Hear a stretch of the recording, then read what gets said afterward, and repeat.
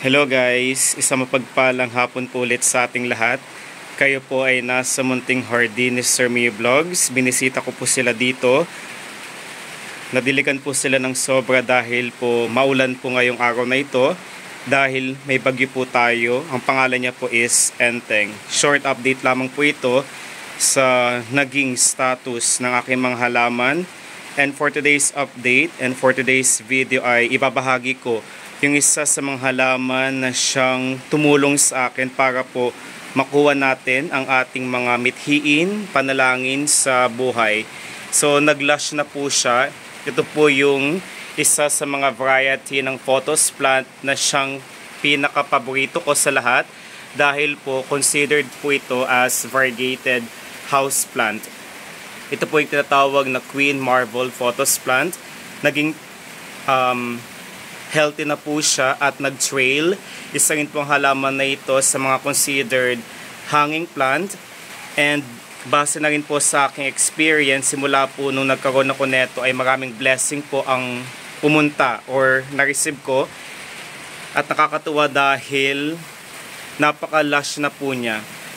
And kitang-kita po ang kanyang magandang postura or kaanyuan isa rin po sa mga dahilan kung bakit patuloy ako sa pagpaparami. By the way guys, ito na po is yung tinatawag na propagated. Pinarami ko po sila sa pamamagitan po ng stem cutting and after 3 months of waiting, ito na po ang naging result. I'm planning to propagate even more dahil may pagbibigyan po ako. Napakaganda po nila, di ba? At tunay na isa rin po sa mga secret reveal na pwede kong ibahagi. Kung magluluto po tayo ng putahe na may itlog, yung pinagbalatan po, yung eggshells po ay wag na wag natin siyang itatapon dahil pwede po natin siyang gawing organic fertilizer para sa ating Queen Marble photos plant. Then dito, so sa pinaglagyan po ng batsa, nakakatuwa dahil dito na po siya nagkaroon ng ugat And ikakat po natin siya dito sa pinakagitnang portion para po makapag-produce ng marami pang halaman na considered feng shui, vastu, money maker, money magnet at lucky charm din po ito. Meron din po kami neto doon sa harapan na pintuan sa main door ng aming bahay para po ito po ang magsilbing protection shield sa mga taong gustong gumawa ng hindi maganda sa ating negosyo, sa ating pamilya, sa ating bahay, sa ating buhay. And base na rin po sa aking experience simula po nung nagkaroon ako neto ay hindi po ako makapaniwala sa napakaraming taglay na benepisyo lalong lalo na sa health dahil ang halaman na ito ay serving. So, Queen Marvel Photos Plant po serves serves as air filtering at air purifying plants. Kung kaya naman po hindi po talaga kayo magsisi, hindi po kayo magsisisi na magkaroon neto dahil simula po nung nagkaroon ako neto ay naging maganda ang daloy ng mga biyaya, yung mga abundance, prosperity, good fortune at mga opportunities po ay talagang na-receive ko at hindi po ako makapaniwala sa kanyang napaka gandang taglay na dulot sa aming buhay, sa aking pamilya, sa aming maliit na negosyo, at marami pong iba. Then, since considered po siya as air filtering at air considered po siya as air filtering at air purifying plants, ay tunay na kapag meron ka neto, sila po magko-convert ng isang toxic na gas into a positive, filtered, fresh na siyang kinakailangan po natin para po sa ating malusog na pangangatawan. Kitang-kita po ang kanyang kagandahan. Ito po ang kanyang top view portion. Pagpasensya niyo po medyo basag po yung boses ko And nakakatuwa din po dahil isa rin po sa mga sekreto ko na pwede kong ibahagi. Since umuulan po this past few weeks ay nag-imbak, nagreserba na po ako ng tubig ulan dahil napakaswerte na po ng halaman na ito at mas lalo pa siyang magiging swerte at buenas ang hatid at dulot sa ating buhay kapag ipinandilig po natin ang tubig na galing sa kalikasan kagaya ng tubig bukal or tubig ulan.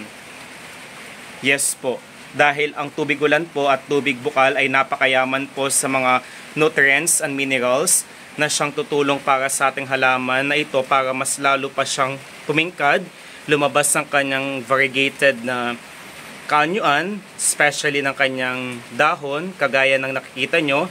At higit sa lahat po is considered po ang tubig ulan as sacred dahil galing po yun sa nature and ang tubig ulan din po ang siyang nagsisilbing daan para mas lalong maging buhaghag ang lupa na ating gagamitin para sa ating halaman na Queen Marble Photos plant. Ayan na siya.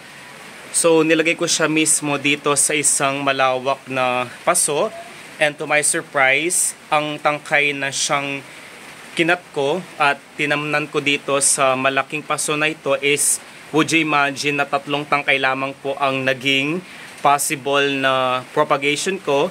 And after how many months ay eto na siya naging maganda po naging matagumpay ang pagpaparami natin sa ating halaman na Queen Marble Photos plant. Bakit nga ba siya naging maswerte dahil tinatanggal niya po ang mga hindi kaaya-ayang energies, yung mga not so healthy, bad vibrations, bad omens ay kanya kino-convert sila po ang naglilinis, nag-eliminate ng hindi magandang dulot ng ating sila pong nagtatanggal ng not so good healthy vibrations ay kanya kino-convert sa napakalinis, napaka-positibo at napakamaalwan na energy. At kapag naging maganda na po ang daloy ng mga energies, na balance na po ang both energies na hindi maganda at maganda, yung positibo at negatibo, ay patuloy po nating makaramdaman na napakabuenas po ng halaman na ito sa ating buhay. Huwag na huwag po kayo magpapawala dahil lucky charmer din po ito. Kumbaga sila po ang naghahaltak ng mga blessing, hindi lamang po sa salapi, pananalapi, sa negosyo, sa abundance, healing, love at sila po ay tumutulong para sa ating mental mental health para po ma-maintain natin ang good energies ng ating